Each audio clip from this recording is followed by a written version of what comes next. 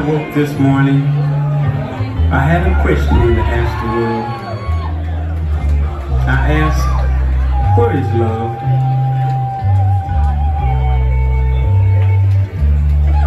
I was told love is understanding, truth, and peace of mind, satisfaction of soul, and sometimes just being kind.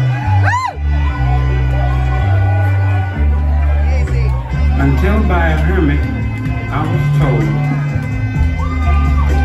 He said, son, there's no one born of woman can tell you from self.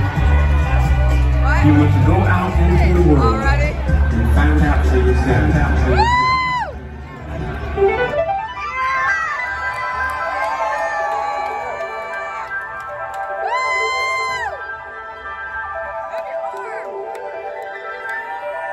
Hallelujah.